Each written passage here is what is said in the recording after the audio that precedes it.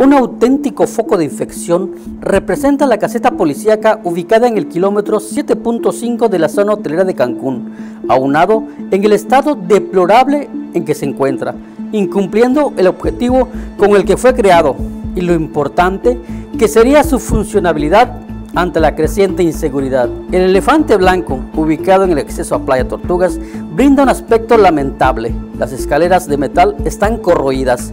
Subir a la caseta superior representa un peligro, en cuyo interior están dos sillas de oficinas en mal estado, restos de escombro y cables de energía sueltos.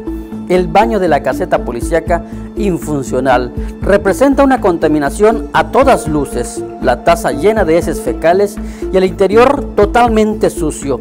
En el piso yace el lavabo y los accesorios totalmente inservibles. Se ha descuidado totalmente las casetas policíacas de la zona hotelera de Cancún pese a la inseguridad bollante.